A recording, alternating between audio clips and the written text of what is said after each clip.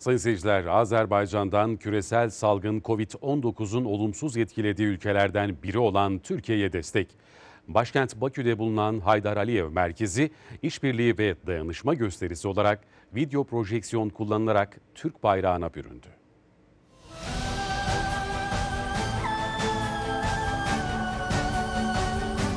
Azerbaycan'ın başkenti Bakü'de bulunan Haydar Aliyev Merkezi'ne Türk ve Azerbaycan bayrakları yansıtıldı. Covid-19 pandemisinin yayılmasının ardından Azerbaycan'ın başkenti Bakü'de bulunan Haydar Aliyev Merkezi her akşam virüsten olumsuz etkilenen bir ülkenin bayrağına bürünüyor.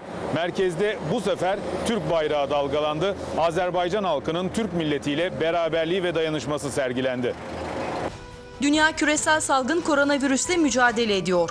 Liderler küresel salgınla mücadelenin de küresel olması gerektiğinin altını çiziyor. Azerbaycan virüsten olumsuz etkilenen ülkelerle işbirliği ve dayanışma içerisinde olduğunu göstermek amacıyla anlamlı bir uygulama başlattı. Her akşam bir ülke bayrağı Azerbaycan bayrağı ile birlikte Haydar Aliyev Merkezi üzerinde dalgalanıyor. Çin, Fransa, Almanya, İtalya, İran, Rusya ve İspanya'nın ardından bu kez Türk bayrağı ünlü kültür merkezinin üzerinde gösterildi.